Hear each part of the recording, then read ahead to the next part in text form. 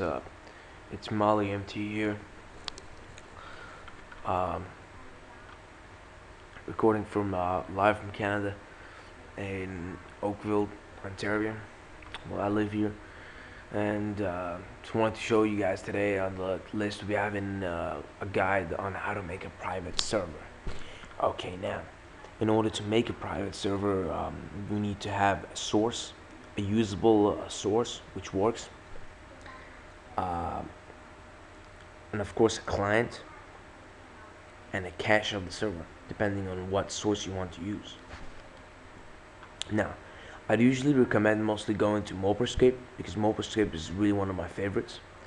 MoparScape and um, Rune Server, both my favorites uh, websites to get like source and that good downloads of anything about anything, or if you want to know about any RSPSs, RuneScape, uh, Rune Server, and uh, MoparScape are the best place to go for downloading sources or clients or in general just knowing knowledge about private servers of RuneScape. And in order to make that, you need to download uh, a source client and cache, like I mentioned, which I will be providing the link to the uh, MoparScape and to what do you call it uh, to Rune server by the description bar. Sorry, a little bit uh, tired today. Haven't slept for four days. Been uh, working on this project. Sorry if I sound a little woozy. Um, I, I can't even forget. I just even forgot the website right now, dude.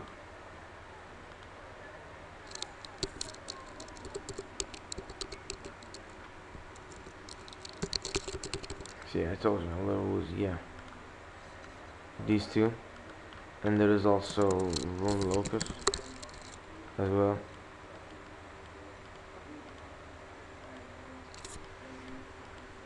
So yeah, alright, now let's just pick out a source from the list. Just any random, pretty much anything will do. Let's just say, for example, Insidia.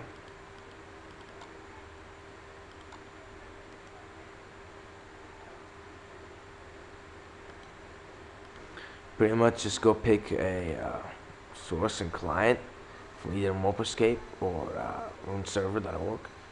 Download the source client and cache then after the uh, after the download has finished for um, all three files, the source, uh, client, and cache, all you they will come in actually a rar or a .zip form type of uh,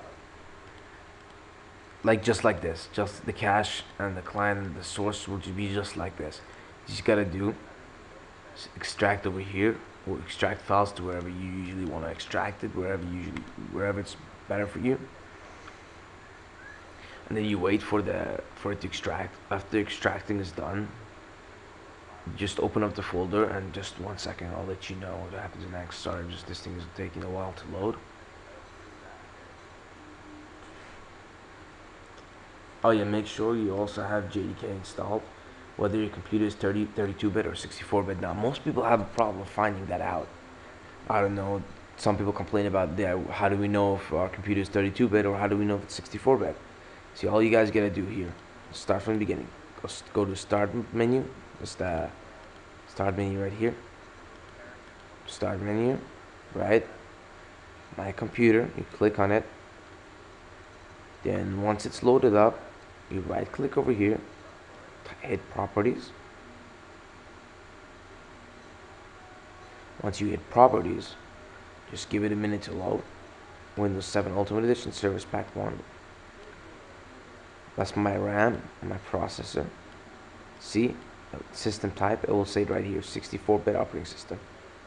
It will say it right there. No matter what it will just say it right there like on every computer it's the same way if you have Windows of course I don't know about any other operating system but I know about Windows this is how where you can find it just in my computer properties that's it now once you download it and extracted the files the files will look somewhat like this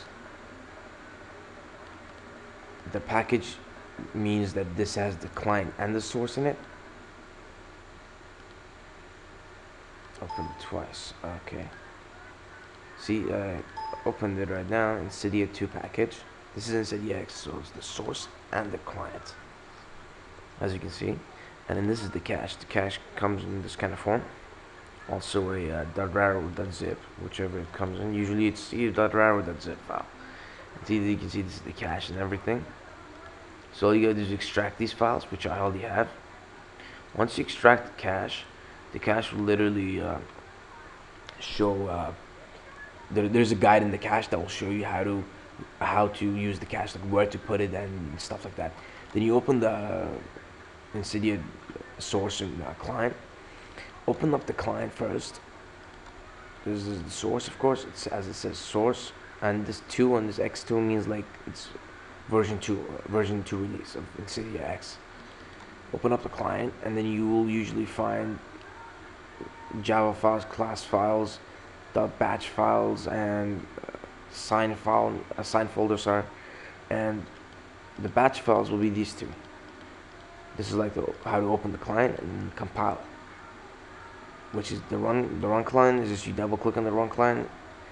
Is this opens the client up, and what the compile does is when you edit something, for example, you edit a couple of things, change the name of the client, or let's just say like um, the client or whatever you want to do, you have to compile it after to save it.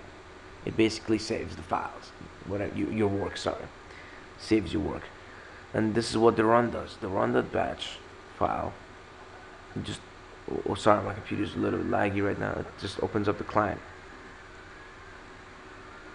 Right there. Make sure you have the cache in the right place, otherwise the client will not open.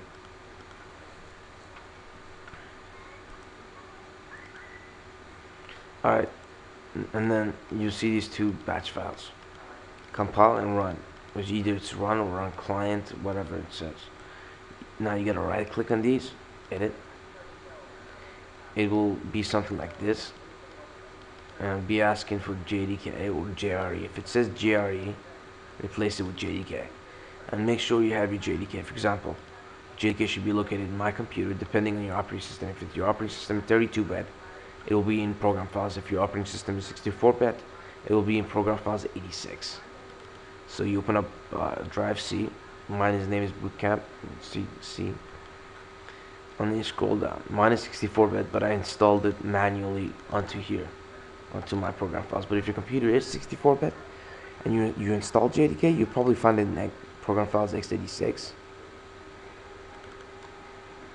But mine on the other hand is in program files. This is my version of Java right here. So you need to make sure to replace the compile and the run.bat in the source and in the client to your current version of your JDK once you do that on here and here because as you can see I've already changed it. Once you do both then you once you change both of them then you compile you wait for it to compile and uh, save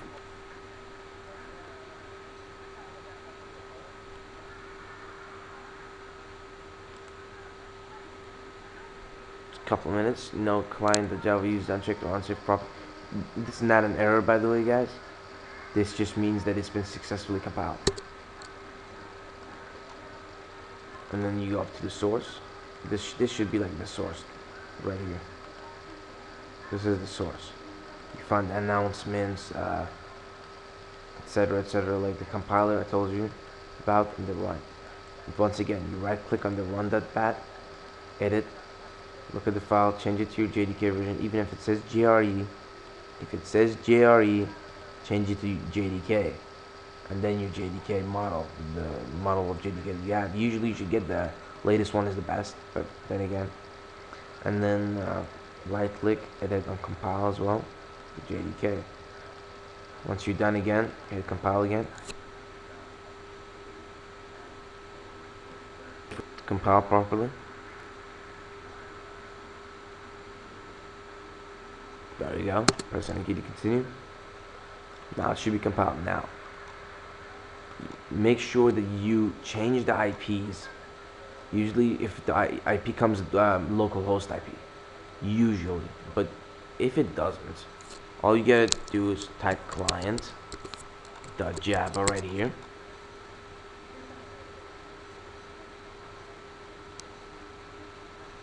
Client usually the IPs are in client.java and in uh, GUI.java, both, both areas. You open client.java,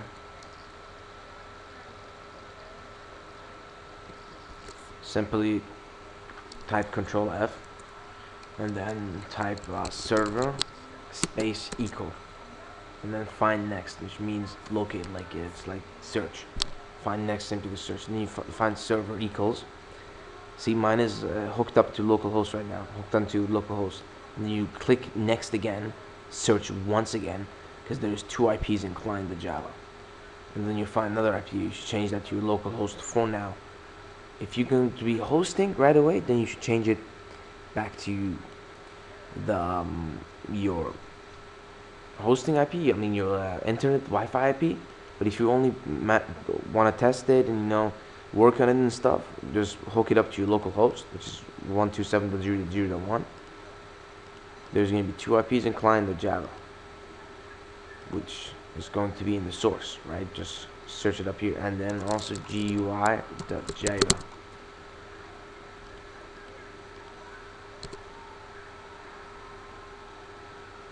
Let me find this too. Oh, here we go. You don't even need to search it. Here it is. See? This is the IP address once again.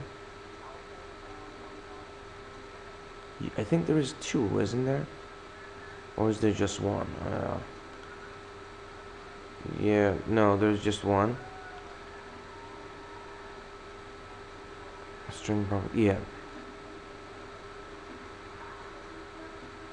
This is like basically the URL where to get the cache from. Basically says just your your local host. Yeah, that's pretty much it. Yeah, guys, that's pretty much it. Just from here, there's one IP in GUI.java and one IP in client.java. After that, again, you hit compile, and then you wait for it to compile. I'm gonna close it because I don't need to compile mine because I'm not doing really change. I never change anything, so I don't need to compile it. And then once it's done then you're basically good to go. You're basically on there. You can just double click here on the source run the source after changing run the source launching in CDX doors loaded doors listing a port 43590 make sure this is important the port has to be set to 43590 43594 sorry.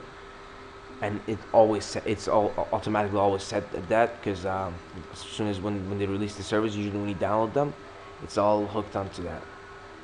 And then you run the client as well.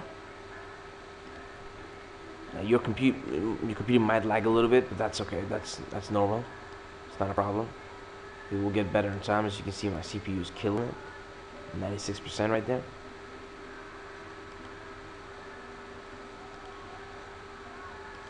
information you can change it for example for example I named this one RuneScape just like that to see like if it will change names or not. I'll be posting more videos about it, but for example, let's type uh, Insidia X password 123 for example. Connecting the server.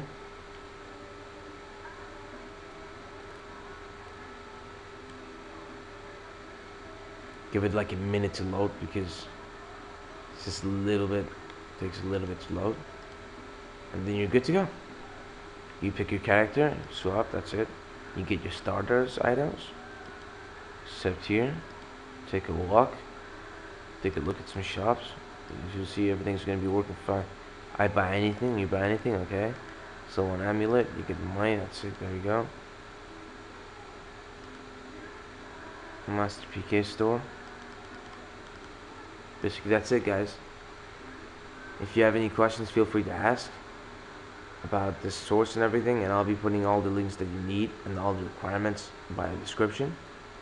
And once again thank you very much for watching. Hope you enjoyed please subscribe